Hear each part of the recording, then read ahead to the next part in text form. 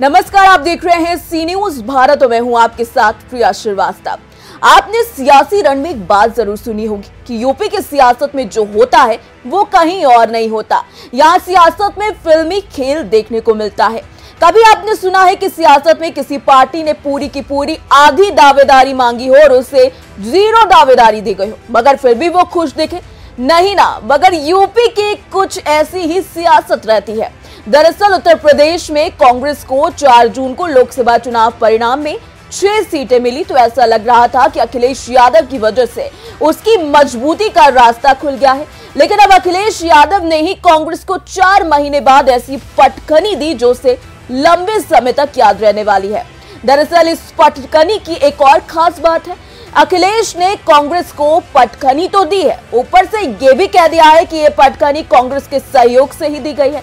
अखिलेश यादव ने कल देर रात सोशल मीडिया प्लेटफॉर्म एक्स पर ऐलान किया कि सपा यूपी में होने जा रहे उपचुनाव की सभी नौ विधानसभा सीटों पर अपने प्रत्याशी उतारेगी। मतलब गठबंधन दल कांग्रेस, यहाँ ठन ठन गोपाल बन गई अखिलेश ने एक्स पर लिखा, बात सीट की नहीं, जीत की है। इस रणनीति के तहत इंडिया गठबंधन के संयुक्त प्रत्याशी सभी नौ सीटों पर समाजवादी पार्टी के चुनाव चिन्ह, साइकिल के निशान पर चुनाव लड़ेंगे। उन्होंने कहा कि कांग्रेस ने सपा को अभूतपूर्व सहयोग दिया है। यानी कि अखिलेश यादव ने राहुल गांधी की कांग्रेस को जमकर पीटने के बाद रोने का मौका भी नहीं दिया। कांग्रेस ने तो उपचुनाव में पाँच सीटों पर दावेदारी करके जताया था कि सपा से कांग्रेस कहीं भी छोटी नहीं, बल्कि बराबर की साझेदार है। लेकिन सपा ने कहा और साबित भी कर दिया कि सियासत में छोटा छोटा ही होता है। अखिलेश ने ऐसी चाल चली कि कांग्रेस करे तो अब क्या करे?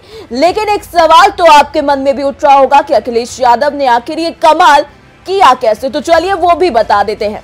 दरअसल यूपी उपचुनाव में सपा की तरफ़ से कांग्रेस को ठेंगा दिखाने के पीछे एक वजह और भी है। लोकसभा चुनाव में सपा ने तिरसठ जबकि कांग्रेस ने केवल सत्रह सीटों पर साझेदारी में चुनाव लड़ा था। सपा तिरसठ में से सैतीस सीटें जीतकर तकरीबन साठ फ़ीसदी का स्ट्राइक रेट हासिल करने में कामयाब रही। जबकि कांग्रेस सत्रह में से सिर्फ़ छह सीटें जीत पाई और स्ट्राइक रेट में समाजवादी पार्टी से काफ़ी पीछे रह गई। कांग्रेस पार्टी का स्ट्राइक रेट केवल 35 फ़ीसदी रहा। अब उपचुनाव की बारी आई तो सपा ने कांग्रेस को पाँच में से केवल दो सीटों का ऑफ़र दिया। वो भी ऐसी सीटें थी जहाँ पर ट्रैक रिकॉर्ड ही कहता है कि कांग्रेस की हार लगभग तय थी। इसीलिए कांग्रेस ने चुनावी मैदान में विरोधियों के हाथ, पिटने की जगह साथी के हाथों पछाड़े जाने का विकल्प चुन लिया। उपचुनाव से कदम वापस खींच लिया। कुल मिलाकर अखिलेश की चाल ने यूपी उपचुनाव में कमाल कर दिया है। फ़िलहाल इस खास रिपोर्ट में इतना ही। देश दुनिया की बाकी और खबरों के साथ जुड़े रहने के लिए आप देखते रहिए सी न्यूज़ भारत।